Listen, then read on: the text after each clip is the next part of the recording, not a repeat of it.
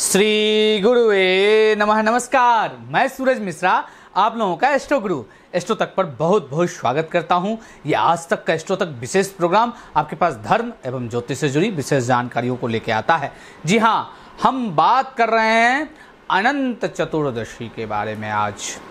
इसके बारे में मैं आपको बताऊँगा कि किस दिन अनंत चतुर्दशी होता है और फिर इसकी कथा क्या है।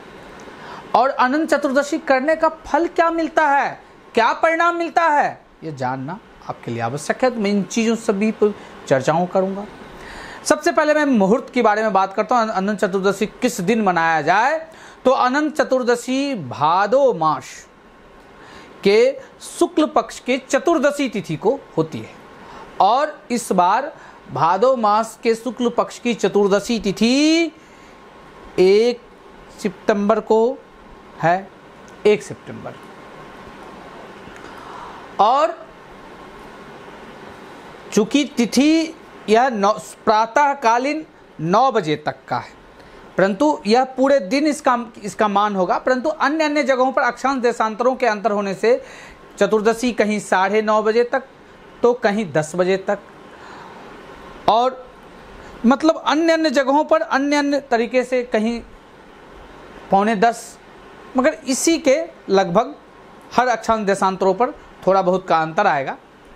तो इस, इसी के लगभग चतुर्दशी तिथि है।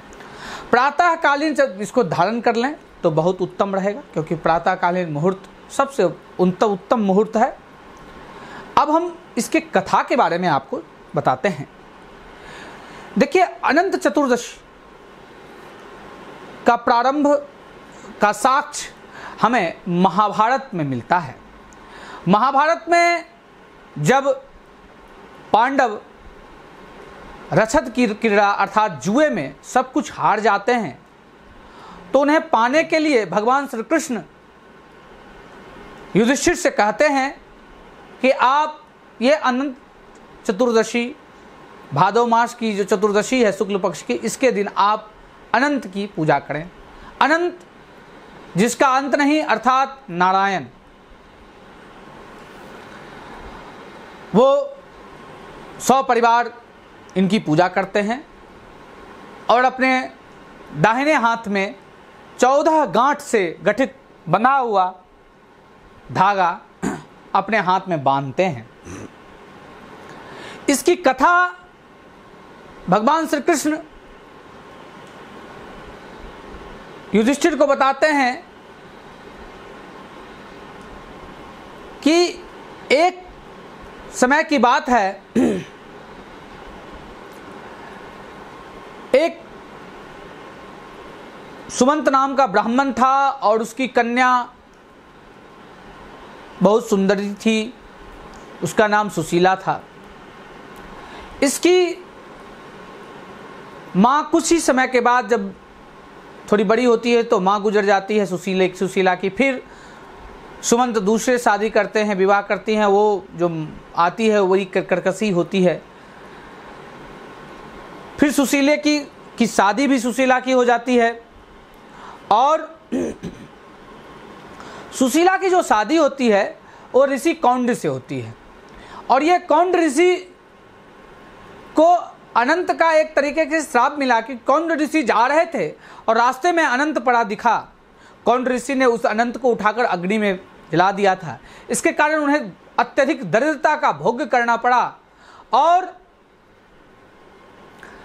दरिद्रता की सीमा जब वो क्रॉस कर गए तो एक दिन प्रभु से पूछे कि क्या हुआ? तो प्रभु बताते हैं कि देख, तुम्हें, तुमने अनंत को अग्नि में डाल दिया। तू इसका व्रत कर, तू इसके श्राप से मुक्त हो जाएगा। और वो करता है, उसे धन्य धान्य की पुनः प्राप्ति होती है, उसके वंश में वृद्धि हो जाती है। तो मैं आप लोगों को कहूँगा कि अनंत, ये चौदह गांठ का जो अनंत है, इसके धारण करने से व्यक्ति की आर्थिक अवस्था बहुत प्रबल हो जाती है। वह समाज में प्रतिष्ठा की भी प्राप्ति करता है, तथा दीर्घायु की अवस्था भी होती है, आयु में वृद्धि होती है, आरोग्यता भी बढ़ती है।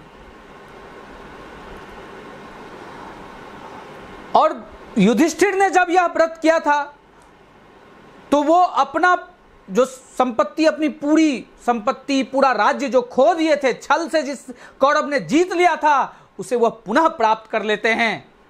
और कौरवों पर विजय प्राप्त कर एक योग्य राजा भी बनते हैं।